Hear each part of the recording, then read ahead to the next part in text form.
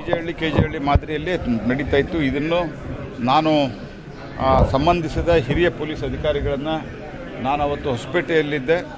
ಹೊಸಪೇಟೆಯಿಂದ next day ನಾನು ಧಾವಿಸಿ ಹೋಗಿ ವಿಚಾರಿಸಲಾಗಿ ಈ ಒಂದು ಮಾಹಿತಿಯನ್ನು ನನಗೆ ಪೊಲೀಸರು ಕೊಟ್ಟಿದ್ದಾರೆ. ಹಾಗಾಗಿ ಇದು ಅದೇ ಮಾದರಿಯಲ್ಲಿ ಮಾಡಬೇಕು ಅನ್ನುವಂಥ ಪ್ರಯತ್ನ ನಡೀತಾ ಇತ್ತು. ಹಾಗಾಗಿ ಮುಂದೆ ಈ ರೀತಿಯ ಘಟನಾವಳಿಗಳು ನಡೆಯಲಾರದಂತೆ ನಾವು ಕ್ರಮ ಕೈಗೊಳ್ಳಬೇಕು ಅನ್ನುವಂಥ ಹಿನ್ನೆಲೆಯಲ್ಲಿ ನಾವು ತೀರ್ಮಾನವನ್ನು. ನೋಡಿ, ಇದು ಗಲಭೆಯಲ್ಲಿ ಯಾರಿಗೆ ಲಾಭ ಆಗುತ್ತೆ, ಯಾರಿಗೆ ನಷ್ಟ ಆಗುತ್ತೆ ಅಂತ ಅನ್ನುವಂಥದ್ದನ್ನು ಯಾರೂ ಮಾತನಾಡಬಾರ್ದು. ನಾವು ಇದನ್ನು ಗಲಭೆ ಎಬ್ಬಿಸಿಲ್ಲ ಗಲಭೆ ಎಬ್ಬಿಸಿದವರು ಸಮಾಜ ವಿದ್ರೋಹಿ ಶಕ್ತಿಗಳು, ಮತಾಂಧ, ಕೆಲವು ಮತಾಂಧ ನಾ ಎಲ್ಲ ಮುಸಲ್ಮಾನರು ಅಂತ ಹೇಳ್ತಲ್ಲ, ಮತಾಂಧ ಮುಸಲ್ಮಾನರು ಮಾಡಿದ್ದಾರೆ. ಹಾಗಾಗಿ ಅವರನ್ನು ಬಂಧಿಸಿದಾಗ ನೀವು ಯಾಕೆ ಅವ್ರಿಗೆ ಸಪೋರ್ಟ್ಗೆ ಹೋಗ್ತೀರಿ? ನೀವು ಸಪೋರ್ಟ್ಗೆ ಹೋದ್ರೆ ಉಳಿದ ಹಿಂದೂಗಳು ನಿಮ್ಮ ನಿಮ್ಮ ವಿರುದ್ಧ ಆಗಬಹುದು ಅಂತ ನಿಮ್ಮ ಭಯ ಇರಬಹುದು. ನಾನು ಹೇಳ್ತಾ ಇಲ್ಲ, ನೀವು ಹೇಳುವ ಆಧಾರದ ಮೇಲೆ. ಈ ಸ್ಟೇಟ್ಮೆಂಟ್ ನಂದಲ್ಲ, ನೀವು ಪ್ರಶ್ನೆ ಕೇಳಿದ್ರಿ, ಇದನ್ನು ರೆಕಾರ್ಡ್ ಮಾಡ್ರಿ. ನಾನು ಯಾರ ಮೇಲೂ ಲಾಭ, ನಷ್ಟದ ಆರೋಪವನ್ನು ಮಾಡ್ತಾ ಇಲ್ಲ. ಸಮಾಜದಲ್ಲಿ ಶಾಂತಿ ಇರಬೇಕು, ನೆಮ್ಮದಿ ಇರಬೇಕು. ಹುಬ್ಬಳ್ಳಿ ಧಾರವಾಡದ ಮಟ್ಟಿಗೆ ಹೇಳೋದಾದರೆ ಕಳೆದ ಇಪ್ಪತ್ತು ವರ್ಷದಿಂದ ಶಾಂತವಾಗಿದೆ. ಮೊದಲು ಒಂದು ಕಾಲದಲ್ಲಿ ಕಮ್ಯುನಲಿ ಭಾಳ ಸೆನ್ಸಿಟಿವ್ ಅಂತಿತ್ತು. ಇವತ್ತು ಅತ್ಯಂತ ಶಾಂತವಾಗಿದೆ. ಈ ಸಂದರ್ಭದಲ್ಲಿ ನಾನು ಒಂದು ಮಾತನ್ನು ಹೇಳಲಿಕ್ಕೆ ಬಯಸ್ತೇನೆ. ಇದರ ಲಾಭ, ನಷ್ಟ ಲೆಕ್ಕ ಹಾಕೋದನ್ನು ಕಾಂಗ್ರೆಸ್ ಪಾರ್ಟಿ ಬಂದ್ ಮಾಡಲಿ. ನಿಮ್ಮ ಅಪೀಸ್ಮೆಂಟ್ ಪಾಲಿಸಿಯಿಂದ ನಿಮ್ಮ ತುಷ್ಟೀಕರಣದ ಪಾಲಿಸಿಯಿಂದ ಇವತ್ತು ದೇಶ ಮತ್ತು ರಾಜ್ಯ ಈ ಸ್ಥಿತಿಗೆ ಬಂದಿದೆ. ಇನ್ನಾದರೂ ಇದನ್ನು ಬಿಡ್ರಿ ಅನ್ನುವಂಥ ಮಾತನ್ನು ನಾನು ಹೇಳ್ತೇನೆ. ಪ್ರತಾಪ್ ಸಂಸ್ಕೃತಿ ಅಲ್ಲದು ಎಲ್ಲೆಲ್ಲಿ ಅಕ್ರಮವಾಗಿ ನಿರ್ಮಾಣ ಆಗಿದೆ. ದೆಲ್ಲಿಯಲ್ಲಾಗಿರುವುದಿರ್ಬೋದು ಉತ್ತರ ಪ್ರದೇಶದಲ್ಲಿ ಆಗಿರ್ಬೋದು ಮಾಧ್ಯಮದಲ್ಲಿ ಅದು ಬಿಂಬಿತವಾಗಿರುವುದು ಬೇರೆ. ಅದರ ವಾಸ್ತವಿಕ ಇರುವಂಥ ಸಂಗತಿ ಏನು ಅಂತಂದರೆ ಅಲ್ಲಿ ಯಾರು ಅತಿಕ್ರಮಣವಾಗಿ ಸರ್ಕಾರಿ ಜಾಗಗಳನ್ನು ಅತಿಕ್ರಮಣ ಮಾಡಿಕೊಂಡು ಯಾವುದೇ ಪರ್ಮಿಷನ್ ಇರಲಾರ್ದೆ ಕಟ್ಟಿದ್ದಾರೆ ಅವನ್ನ ಬುಲ್ಡೋಜರ್ ಹಚ್ಚಿ ಕೆಡುತ್ತಾ ಇದ್ದಾರೆ. ಎಲ್ಲ ಬಿಲ್ಡೋರ್ ಹಚ್ಚಿ ಕೆಡುತ್ತಾ ಇಲ್ಲ. ರಾಜ್ಯದಲ್ಲಿ ನಾವು ಕಲ್ಲಿದ್ದಲನ್ನು ಸಿಂಗ್ರೇನಿ ಕೋಲ್ ಫೀಲ್ಡ್ಸ್ ಪಕ್ಕದಲ್ಲಿ ಹೈದರಾಬಾದ್ ಹತ್ತಿರ ಇದೆ. ಅಲ್ಲಿಂದ ಕಳಿಸ್ತೀವಿ. ಮೊದಲು ಅದು ಏಳು ರೇಕ್ಸ್ ಪರ್ ಡೇ ಬರಬೇಕಾಗಿತ್ತು. ಈಗ ಅದನ್ನು ಒಂಬತ್ತು ಹತ್ತಕ್ಕೆ ನಾವು ಏರಿಸಿದ್ದೇವೆ. ಇದರ ಜೊತೆಗೆ ಎಂ ಸಿ ಎಲ್ನಿಂದ ಅಂದರೆ ಮಹಾನದಿ ಕೋಲ್ಡ್ ಫೀಲ್ಡ್ಸ್ನಿಂದ ಮತ್ತು ಡಬ್ಲ್ಯೂ ಸಿ ಎಲ್ದಿಂದ ನಾವು ಹೆಚ್ಚಿನ ರೋಡ್ ಕಮ್ ರೈಲ್ ಮೋಡ್ ಮೂಲಕ ಕೊಡಲಿಕ್ಕೆ ಆಫರ್ ಮಾಡಿದ್ದೇವೆ. ಕೆಲವುದನ್ನು ಕರ್ನಾಟಕ ಸರ್ಕಾರ ಪಿಕ್ ಎತ್ ಅಂದ್ರೆ ಅದನ್ನು ಲಿಫ್ಟ್ ಮಾಡಿದೆ, ಇನ್ನು ಕೆಲವುದು ಲಿಫ್ಟ್ ಮಾಡಿಲ್ಲ. ಬಹುತೇಕವಾಗಿ ಕರ್ನಾಟಕಕ್ಕೆ ಎಲ್ಲಿ ಅಗತ್ಯ ಇದೆ, ಅಲ್ಲಿ ಅವರು ಲಿಫ್ಟ್ ಮಾಡಿದ್ದಾರೆ. ಈಗೂ ಸಹಿತ ಅವರ offer is open road cum rail mode ತಗೊಳ್ಳಿಕ್ಕೆ ಆಫರ್ ಕೊಟ್ಟಿದೆ. ಮತ್ತು ಅಡಿಷನಲ್ ಆಗಿ ಭಾರತ ಸರ್ಕಾರ ಮೋದಿ ನೇತೃತ್ವದಲ್ಲಿ ಬಂದ ನಂತರ ಸುಮಾರು ಎರಡು ದೊಡ್ಡ ದೊಡ್ಡದಾದಂಥ ಎರಡು ಕಲ್ಲಿದ್ದಲು ಗಣಿಗಳನ್ನು ಸಹಿತ ನಾವು ಸರ್ಕಾರ ಕೊಟ್ಟಿದ್ದೇವೆ. ನಾನು ಮಂತ್ರಿ ಆದ ನಂತರ ಪ್ರಧಾನಮಂತ್ರಿಗಳ ಮಾರ್ಗದರ್ಶನದಲ್ಲಿ ಇಲ್ಲಿನ ಮುಖ್ಯಮಂತ್ರಿಗಳ ಜೊತೆಗೆ ಇನ್ ಡೆಪ್ತ್ ಮಾತನಾಡಿ ಯಡಿಯೂರಪ್ಪನವರಿದ್ದಾಗ ಅದನ್ನು ಒಂದು ಆಪರೇಷನಲ್ ಮಾಡಿ ಅದರಲ್ಲಿ ಎರಡು ರೇಕ್ ಬರ್ತಾ ಇದೆ. ಅದನ್ನು ಮೂರು, ನಾಲ್ಕು ರೇಕ್ ಮಾಡ್ಬೋದು. ಅದಕ್ಕೆ ಸಂಬಂಧಿಸಿದಂತೆ ಕರ್ನಾಟಕ ಸರ್ಕಾರ ಕ್ರಮ ಕೈಗೊಳ್ಳಲಿಕ್ಕೆ ನಾನು ಸಲಹೆಯನ್ನು ಕೊಟ್ಟಿದ್ದೇನೆ. ಅವರು ಮಾಡ್ತಾ ಇದ್ದಾರೆ. ನಾನು ಮಾಡ್ತಾ ಇಲ್ಲ ಅಂತ ಹೇಳಿಲ್ಲ. ಸ್ವಲ್ಪ ಹೆಚ್ಚು ಅದಕ್ಕೆ ಪ್ರಯತ್ನವನ್ನು ಮಾಡಬೇಕು. ಅದನ್ನು ಮಾಡ್ತಾ ಇದ್ದಾರೆ. ಇನ್ನೊಂದು ಮಂದಾಕಿನಿ ಕೋಲ್ ಬ್ಲಾಕು ಆ್ಯಕ್ಟಿವೇಟ್ ಮಾಡುವಂಥ ಪ್ರಯತ್ನ ನಡೆದಿದೆ. ಕೋಲ್ ಬ್ಲಾಕ್ ಮೂರ್ನಾಲ್ಕು ಕೋಲ್ ಬ್ಲಾಕ್ ಕೊಟ್ಟಿದ್ದೇವೆ. ಅದರ ಜೊತೆಗೆ ಅಲೋಕೇಶನ್ ಜಾಸ್ತಿ ಮಾಡಿದ್ದೇವೆ. ನಿನ್ನೆ ಸುನೀಲ್ ಕುಮಾರ್ ಅವರು ಸ್ಪಷ್ಟಪಡಿಸಿದ್ದಾರೆ. ನಮಗೆ ಬೇರೆ ಮೂಲದಿಂದ ವಿದ್ಯುತ್ತು ಬರ್ತಾ ಇರೋದ್ರಿಂದ ಕೆಲವು ಕಡೆ ನಾವು ಬಂದ್ ಮಾಡಿದಂತೆ. ವಿಶೇಷವಾಗಿ ಕರ್ನಾಟಕಕ್ಕೆ ಯಾವುದೇ ರೀತಿ ಕಲ್ಲಿದ್ದಲು ಕೊರತೆ ಇಲ್ಲ.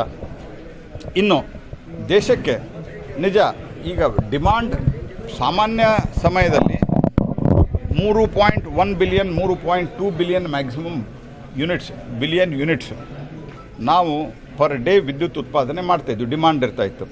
ಇವತ್ತು ಆ ವಿದ್ಯುತ್ ಡಿಮಾಂಡು ಮೂರು ಪಾಯಿಂಟ್ ನಾಲ್ಕು ಐದರವರೆಗೂ ಹೋಗ್ತಾ ಇದೆ. ಹೀಗಾಗಿ ಡಿಮಾಂಡ್ ಇನ್ಕ್ರೀಸ್ ಆಗಿದೆ.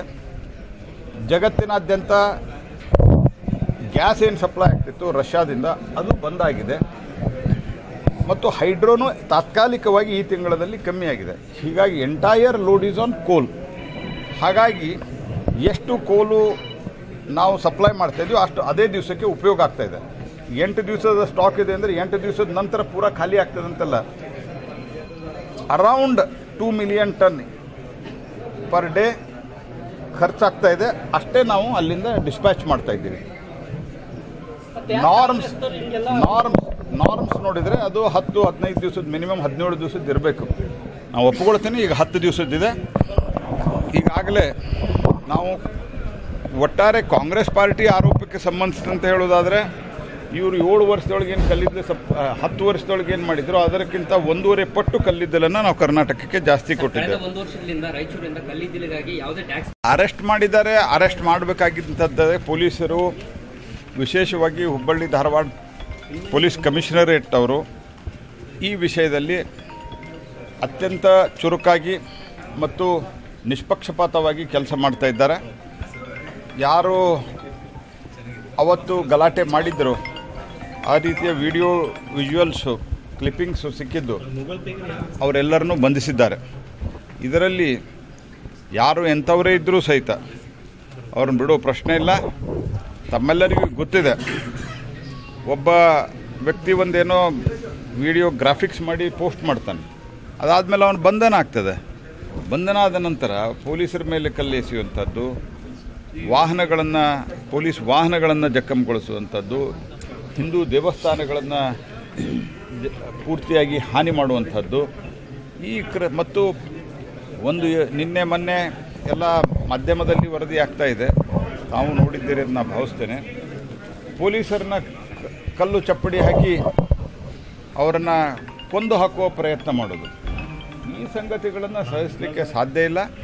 ಈ ಸಮಾಜ ವಿದ್ರೋಹಿ ಶಕ್ತಿಗಳು ಯಾರೇ ಇರಲಿ, ಅವರನ್ನು ಬಂಧಿಸಿ, ಅವ್ರನ್ನ ಎಲ್ಲಿ ಕಳಿಸ್ಬೇಕು ಅನ್ನುವಂಥ ಏನು ಕಾನೂನು ಪ್ರಕಾರ ಏನು ಕ್ರಮ ಕೈಗೊಳ್ಬೇಕು, ಆ ಕ್ರಮವನ್ನು ನಮ್ಮ ಸರ್ಕಾರ ಕೈಗೊಳ್ತದೆ ಮತ್ತು ಇದರ ಸಮಗ್ರವಾದ ತನಿಖೆ ಆಗ್ತದೆ. ಇದರ ಹಿಂದೆ ಇನ್ನೂ ಯಾರ್ಯಾರು ಇದ್ದಾರೆ ಒಂದು ಮಾಸ್ಟರ್ ಮೈಂಡ್ ಸಿಕ್ಕಾನೆ ಇನ್ನೂ ಎಷ್ಟೆಷ್ಟು ಮಾಸ್ಟರ್ ಮೈಂಡ್ಗಳಿದ್ದಾವೆ ಈ ಎಲ್ಲ ಸಂಗತಿಗಳನ್ನು ನಾವು ಹೊರಗೆ ತೆಗಿತೇವೆ. ಮತ್ತು ಎಲ್ಲೆಲ್ಲಿ ಇದರ ಕಾನ್ಸ್ಪಿರಸಿ ಆಗಿದೆ? ಕೆಲವು ಪ್ರಾರ್ಥನಾ ಮಂದಿರಗಳಲ್ಲಿ ಕಾನ್ಸ್ಪಿರಸಿ ಆಯಿತು ಅನ್ನುವಂಥದ್ದು ಪತ್ರಿಕೆಯಲ್ಲಿ ಬಂದಿದೆ. ಆ ಎಲ್ಲ ಕಾನ್ಸ್ಪಿರಸಿಯನ್ನು ನಾವು ಹೊರಗೆ ತೆಗಿತೇವೆ ಮತ್ತು ಎಲ್ಲರನ್ನೂ ಬಂಧಿಸಿ ಅತ್ಯಂತ ಕಠೋರವಾದಂಥ ಕಾನೂನಿನ ಕ್ರಮವನ್ನು ಕೈಗೊಳ್ಳುತ್ತೇವೆ ಅವರು ದಿಲ್ಲಿಯಲ್ಲಿ ಏನು ಮಾಡಿದ್ದಾರೆ? ದಿಲ್ಲಿಯವರು ಕೊಟ್ಟ ಪ್ರಾಮಿಸು ದಿಲ್ಲಿಯಲ್ಲಿ ಅವರು ಯಾರಿಗೆ ಇವತ್ತು ರಾಜ್ಯಸಭೆ ಟಿಕೆಟ್ ಕೊಟ್ಟಿದ್ದಾರೆ, ಅವ್ರು ಯಾರಿಗೆ ಕೊಟ್ಟಿದ್ದಾರೆ?